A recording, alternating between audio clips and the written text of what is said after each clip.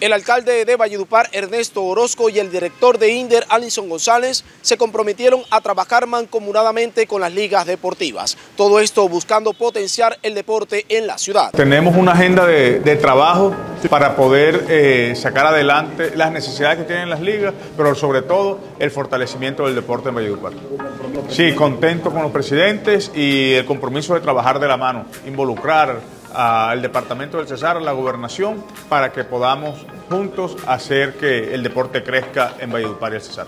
El propósito de esta reunión era escuchar a los diferentes presidentes de las ligas del departamento del Cesar, escuchar sus necesidades, escuchar sus peticiones y por supuesto comprometernos de manera directa que tenemos con la ciudad y que tenemos también con los deportistas de la ciudad.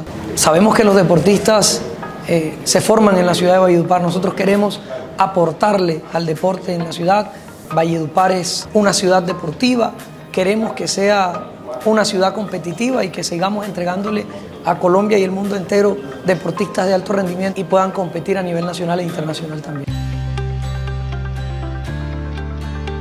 Somos de las pocas clínicas en el país que cuenta con una sala Brain Suite, la cual nos permite ofrecer tratamientos neuroquirúrgicos con altos estándares de calidad gracias a la integración intraoperatoria de imágenes de alta resolución que nos permite disminuir los tiempos operatorios, evitando así daños y secuelas.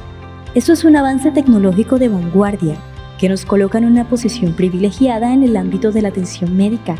Esta exclusiva instalación no solo refleja nuestro compromiso con la excelencia, sino que también destaca nuestro interés en brindar lo último en tecnología a nuestros pacientes permitiéndonos realizar procedimientos con gran precisión y detalle. En Grupo Clínica Médicos lo damos todo.